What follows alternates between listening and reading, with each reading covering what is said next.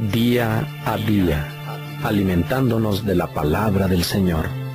En la voz de Monseñor Enrique Díaz, fortalezcamos nuestra fe. Seamos testigos de Jesús vivo y resucitado. Qué alegría poder saludarlos nuevamente, qué alegría reunirnos ahora para escuchar la palabra del Señor. La palabra siempre nos fortalece y nos anima. Que este día sea el mismo Señor el que hable a tu corazón y aliente en tu caminar. Evangelio según San Lucas capítulo 8 versos del 19 al 21. En aquel tiempo fueron a ver a Jesús su madre y sus parientes, pero no podían llegar hasta donde él estaba porque había mucha gente. Entonces alguien le fue a decir, tu madre y tus hermanos están allá afuera y quieren verte. Pero él respondió, mi madre y mis hermanos son aquellos que escuchan la palabra de Dios y la ponen en práctica. Palabra del Señor.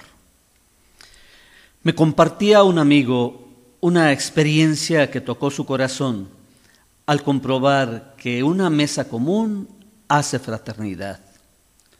No es cierto que seamos hermanos si el que está junto a nosotros padece hambre y no se anima a acercarse y a participar de nuestro mismo pan. Si es por culpa nuestra, será egoísmo. Si no se atreve por miedo o vergüenza, será que aún no le hemos dado muestras ciertas de que somos hermanos. Si el pan compartido nos hermana, y rompe las diferencias, ¿qué no hará la palabra de Dios? Para algunos, en el pasaje que acabamos de escuchar, se presentaría una especie de desprecio o reproche a María como Madre de Jesús. Sin embargo, la conclusión que hace el mismo Jesús le da una valoración mucho más importante a María, la que escucha, la que es fiel a la palabra, la que la hace producir y dar fruto. Para ser parte de la familia de Jesús es necesario escucharla y seguirle, ser discípulo suyo. Se rompe con el círculo familiar sanguíneo y se da un paso hacia la comunidad de hermanos y hermanas en la fraternidad. Escuchar y vivir la palabra de Dios nos hermana de la misma forma que el compartir el pan.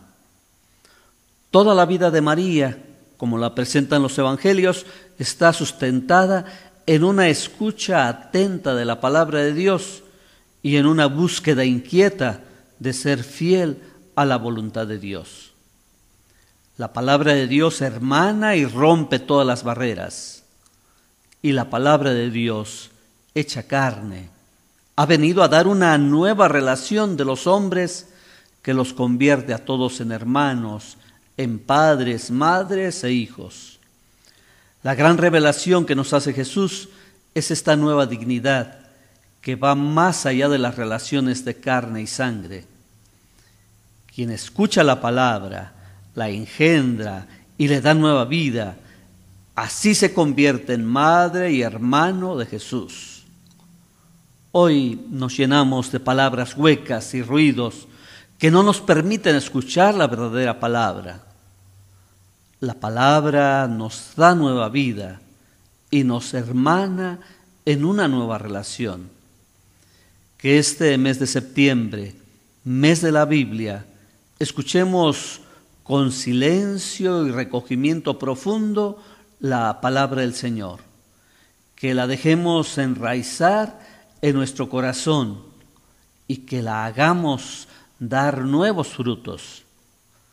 María, la que escucha, la que hace producir la palabra, nos enseña a buscar la palabra y a transformarla en servicio que engendra una nueva vida y una nueva relación familiar.